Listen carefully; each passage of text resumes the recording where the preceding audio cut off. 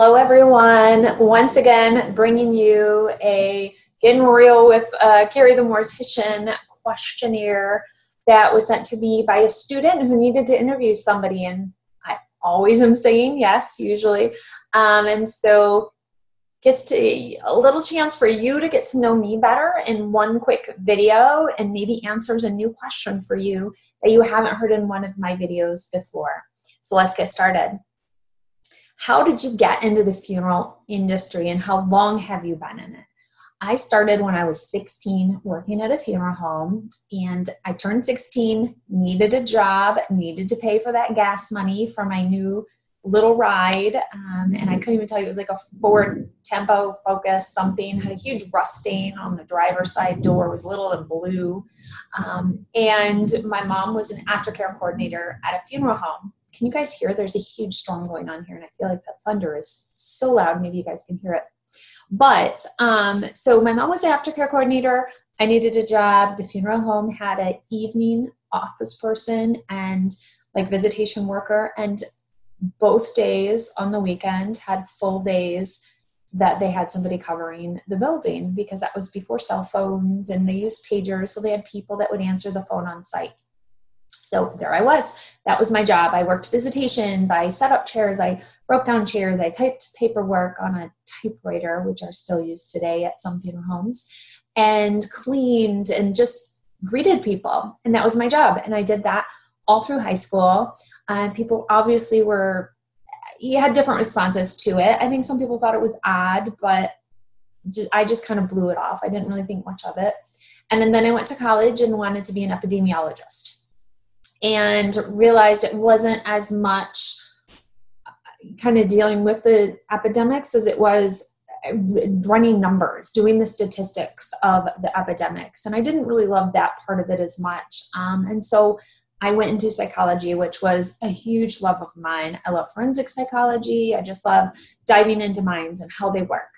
But I didn't really want to go for a doctor. I didn't want to go the long haul. And to do a lot of the things I wanted to do, you would to do that. Um, so my mom said, why don't you try being a funeral? You're so comfortable with it. You enjoy being at the funeral home. Why not? And there I landed. And I think along the way, I always got people who made silly jokes. And when dating, you know, um, some men were totally turned off by the whole idea that I worked at a funeral home and it bothered them. You could tell some people were interested by it. Um, at the end of the day, I feel like it's not unlike a lot of other professions that you're going to get people that give mixed responses to them. So it wasn't as big of a deal as I think some would think. Does work ever go home with you? How do you leave the stresses and emotions at work when you get home? How do you handle negative criticism? I think the work always comes home with me. It's a 24 7 type business like you know people don't just die nine to five. So when you're on call in the evening or maybe a family emails now we have the email and texting and so families are a little more connected to funeral directors now than they were even 10 years ago where they may text you or they're going to email or connect with you in different ways than they would have before. So you're a lot more on call and open to families than previously. So definitely it goes home with you. Definitely sometimes the emotions of it go home with you. I would say not often.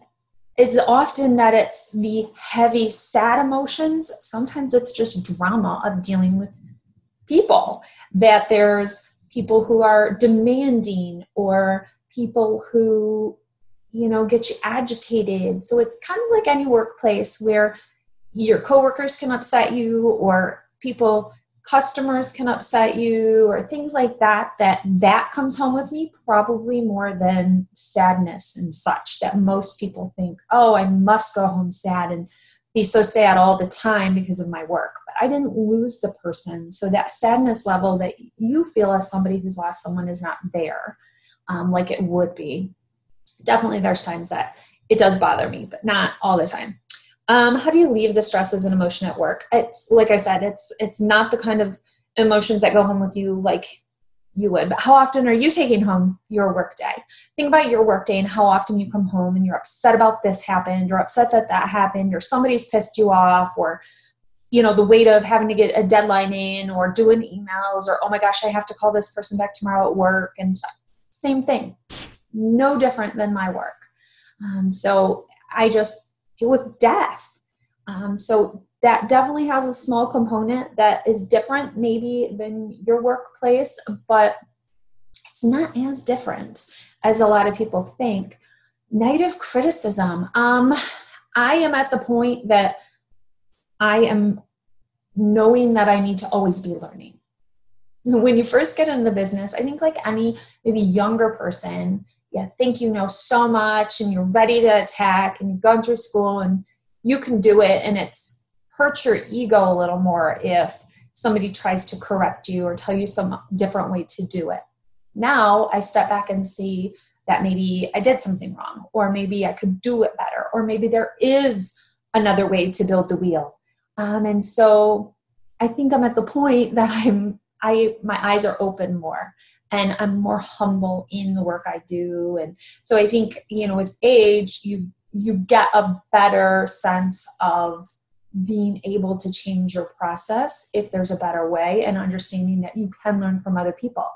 I can learn from someone who's just coming out of school just as much as I can someone who's been in the business 50 years.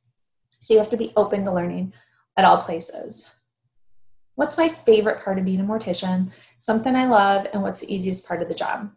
My favorite part, I think, is getting to know people's stories. I love hearing stories about people, getting to know the full life behind who has died. I love talking to people, getting to know people. I connect with them, and I just I get all wrapped up in the story pretty quickly. The easiest part of my job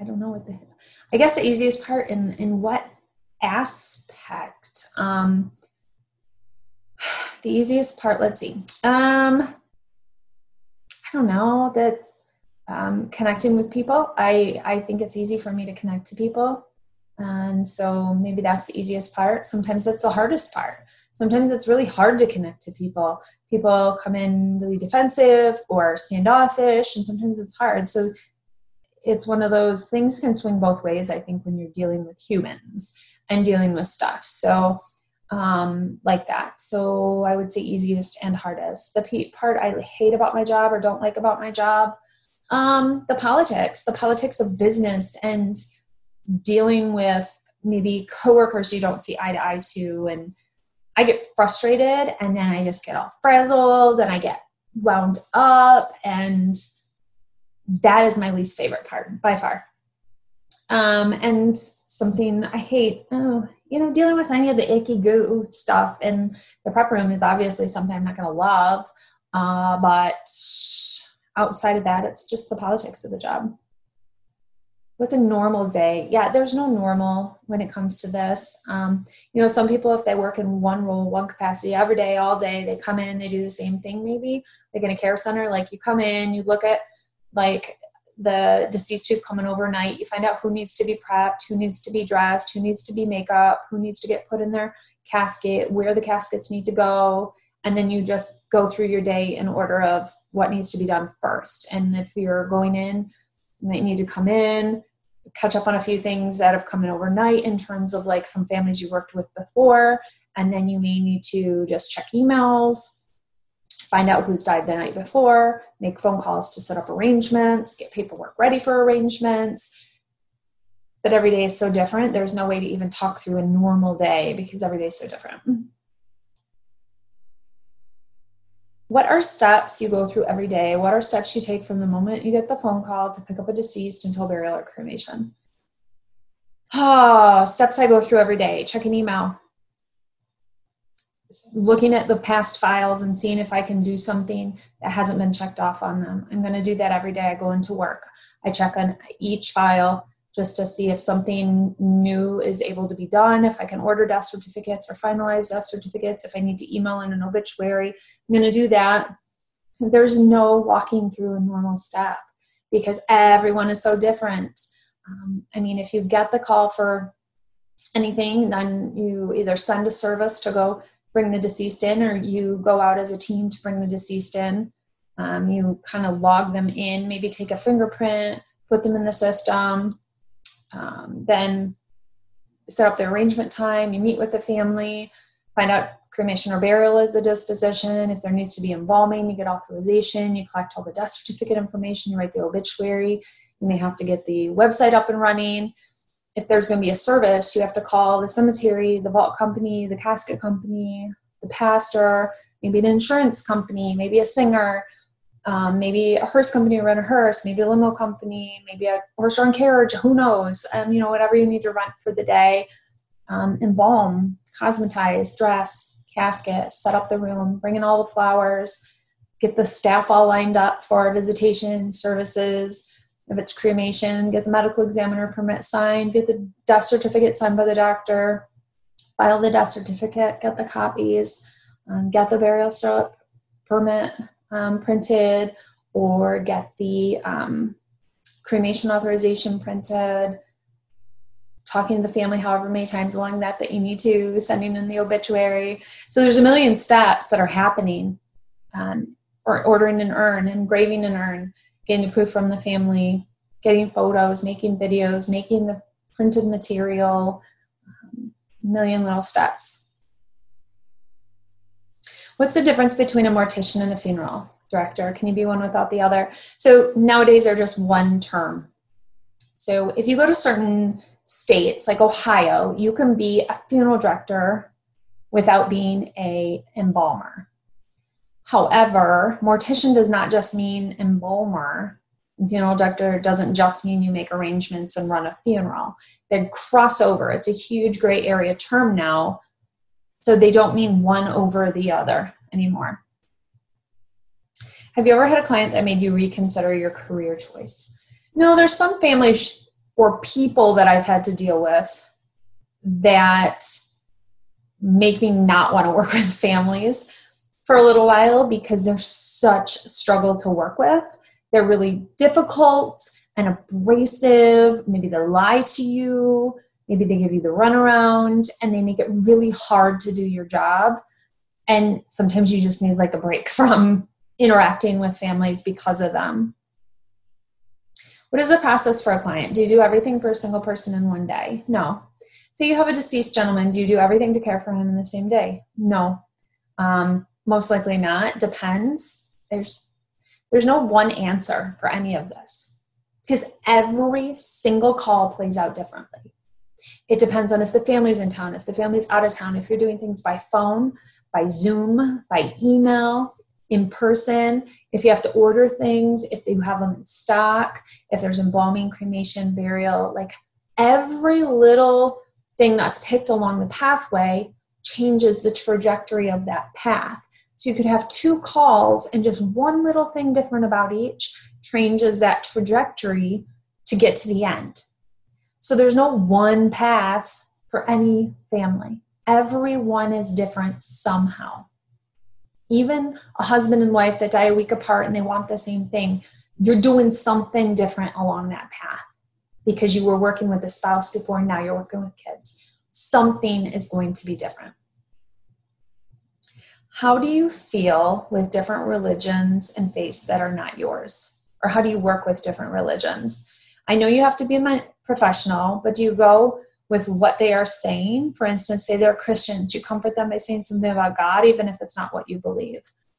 No, I'm not going to pretend to be something I'm not. I am going to, I respect people's choices and their beliefs and what they do, even if it's not my own. I have not encountered something that I have been completely against in belief, like a Satanist or something of that nature. Um, thankfully, I haven't encountered that. So that might be a little different for me if it's something that's like the polar opposite of my belief. But I love working with different faiths and learning about their faiths and learning what I can do to respect their time of loss and what they're going through in their faith to care for their loved one. I love watching that and learning. So if I go to a Catholic church, I will cross myself out of respect. Um, but I'm not going to take communion when it's not allowed. I'm not. I don't genuflect. Um, I will bow though in the in the Catholic Church. every time I cross in front of the cross out of respect. And I will do things out of respect. If I know a church has their their church women wear maybe skirts. If I have a skirt suit, I may wear it to the church. Just because I don't want to offend, it's not because, oh, I want to play along with their beliefs or anything. It's because I just don't want to offend. I want to blend. I don't want to be someone of resistance during that funeral. I want to be someone that's being helpful and doing things for. We had a um, Buddhist service once, and we had to light three incense and bow three times and put incense in. And the family was going to stay at the funeral home for the whole day, every day, all day. And we said, listen, if you need to take a break, we are happy and honored to go in. If the incense gets low, light three more, bow three times, and put them in. And they said, Would you really do that? We said, Of course. So we helped them keep their incense going for their loved one. Bowing three times meant nothing to me, but doing that action meant something to them. So, how is it hurtful for me to do the action? I don't think it is, but that's my belief. Some people may not do that because they think it's against their religion. But I would believe that my God sees my kind action helping someone else, even though they may not have the same belief as me. So long, long answer, but that's that's I think how I, I see things. Um, what is the process for embalming? Um, I'll give the really abridged short version since I have too many videos about embalming. Um, but there's bathing, there's setting the features, which is closing the mouth and eyes. Then we will raise the vessels, which means making an incision and raising an artery and a vein. We mix a solution that's typically formaldehyde or glutaraldehyde based and inject that into the artery and get drainage out of the vein. Once we've put in a solution, two to four gallons, depending on weight and size of the individual, we suture up that hole. We will then aspirate using a trocar, which is a long, big needle. We insert that into the abdomen, and with a suction uh, machine attached to that, we will puncture all the internal organs and kind of remove blood or liquid or things in the digestive tract and the lungs throughout the abdomen and cavity, and then we replace it with straight fluid, cavity fluid. We put in a trocar button, we'll bathe the person again, wash their hair, shave them, clean under their nails, and then they are ready to be prepped with clothing and makeup and everything. Does restoration occur during the embalming process? What are steps for restoration? Well, restoration is a big, huge word. It could just be tissue filler, it could be reconstructing the whole head. So that's a huge, broad term as well. During the embalming process, we are preserving. That is the main step in restoring anybody is preserving. We, if you don't have a good preserved body, there's no sense in doing restoration because that body will kind of go bad before anybody can even appreciate that restoration. So you preserve first and then restore second. So restoration is going to look like a lot of things, but our goal is preserve and dry out tissue so that if we are gluing and closing incisions or you know um, abrasions, things like that, they need to be dry. Wax does not stick to wetness. Glue does not really stick to wetness. So we need everything to be dry. Then we can go from there. Are there differences between taking care of men versus taking care of women? Are there other steps you must take for one gender that you don't for the other? Um, we have to handle the breasts on a woman by making sure they're not falled off to the side or fallen off to the side. So we will suture them up and together, suturing through the nipple area on both, or using clamps, or sometimes people use duct tape to hold the breasts up and in place, and then hopefully be firm after the embalming to stay up and in place and then the bra put on. So that's one thing we do. Um, otherwise, you know, we shave both genders, we wash hair on both genders, we bathe both genders. So there's really not anything different that comes to the top of my mind that I would do differently between men and women, honestly. What are the jobs you do at a visitation and a funeral? greet people, make sure there's Kleenex out. Sometimes I'll bring water to the family, immediate family during the visitation, make, checking the temperature in the room to make sure it's not warmed up too much and the air is flowing well. Um, you don't want it to be stuffy and hot, um, but you also don't want to be too cold. So just checking levels of everything as you have influxes and defluxes of guests and visitors checking music, making sure it's playing, checking the video, make sure it's playing well. Sometimes I'll do a walk by of the deceased and make sure if they had a lot of makeup on them that hasn't all been rubbed off or that they're not leaking or things like that. Checking for flowers that need to be brought in that are brought late during the visitation or the service. Um, during the service itself, once it gets started, you may be running the video, you may be running the sound and the music, um, but kind of just making sure things are in place for when that service gets done and what's going to happen. What does the funeral director say have to say at the graveside after everyone leaves? Oh, why does the funeral director have to stay at the graveside after everyone leaves? Um, be, sometimes it's law that you have to stay with the deceased until they're enclosed in the vault or after, you know, you just stay for safety. I'm in charge of that deceased until they are officially buried and that sometimes means when the vault lid is on and closed and nobody can get to that deceased again, essentially. So it just depends on the state and what the laws are. How do you comfort family and friends at a visitation or funeral? More so, how do you comfort the family person in general? In general, um, I don't really focus that my job is to comfort. My job is to make sure the process is going well I need to make sure the deceased looks good and that their experience is what it needs to be. Um, I can't make them feel better. You've lost someone, you've lost someone close to you, and it sucks. So I can't really comfort them. You can't take away pain. You can't take away that loss. There's nothing you can say to really truly comfort in that moment. I can just make sure I am doing what I need to do to take care of every little detail that needs to be taken care of. I need to be one step ahead of the family so that they're never in want of much. If I know they took home four easel or four picture boards, I want to have four easels out so when they walk in, they're there and ready to go and that we're not having to, you know, mess around trying to get things out for them that weren't prepared.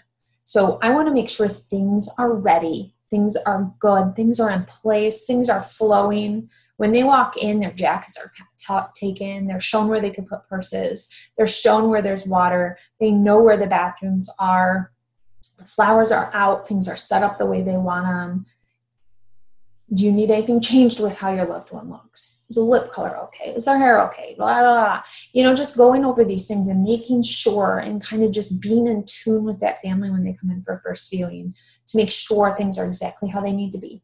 You don't want them wondering where they need to be, what they need to be doing, how things are happening. You need to make sure they know those things and things are verbalized. You can't assume families know anything. They're not professionals at being grievers at funerals. They don't know that you have a car list that's given to everybody to know who's going to be lined up where. They need to know that information. They need to know when they arrive the next day, someone will be parking them in order. So it's verbalizing and communicating with that family. Is there anything you wish people understood about the funeral industry? And Do you have any advice for someone interested in this career? Um, I wish people understood how much work there is that you don't see that we do. That's not playing with dead bodies. um, I think that's something that I'm hoping to shed light on with doing videos and things is is what we truly do as funeral professionals and as embalmers and as directors and to have more value in the work that we do. Um, that's one thing I wish people understood. Advice do not go to school without having shadowed, having taken a funeral director lunch and talked to them, having done more than just attend a funeral and have that good Mormon fuzzy and want to be a funeral director. You need to see the other, like 90% of what happens at a funeral besides a funeral, or at a funeral home besides a funeral. Um, you need to know more before you jump in and go to school. So that is one thing anybody interested in the business needs to do is learn more about the backside of things, learn more about the day-to-day life of a funeral director. What has working in the funeral industry taught me? Oh, um, I think it's all the normal life lessons that maybe people would tell you um, without being too cliche. You know, anything can happen at any time. Cherish the people around you. Always be learning. Um, things change in the world and in our society, but at the end, we're all still the same. We all still die. We all still are on the same table, and we're all still cared for by the same people. Um, it's the same end for everybody, no matter your race, religion, economic status. Doesn't matter if you are evil or good. You kind of have that same end process um, when it comes to your your body being cared for, and it's an equalizer. Death is, and we all are told that, but I get to see that all the time. Um, it doesn't mean go out and be really bad because we're all going to still die. It just means that don't see yourself as better than somebody else because at the end of the day, that somebody else is, could be laying next to you on the same, you know, in the same room on a table next to you, and you're supposed to still just going to be dead. Um, beyond that, though, you know, somebody else will judge us, is my belief, but don't assume you're better than somebody else or that somebody else is um, not not as valued as you because of any one reason or another. So, um, you know, we're all the same in the end, I guess, essentially, in some ways. So, thank you for your questions. I know I rambled through those. Some of those were a little more, all the um, sub questions within the questions. But thanks, guys. That's a little more about me. Um, for you and hopefully you learned a one new thing new about me if you've watched a lot of my videos I like you to learn maybe one more one more new thing each time you watch a video. Thanks so much and email me with questions if you have them and I'll talk to you guys soon. Bye.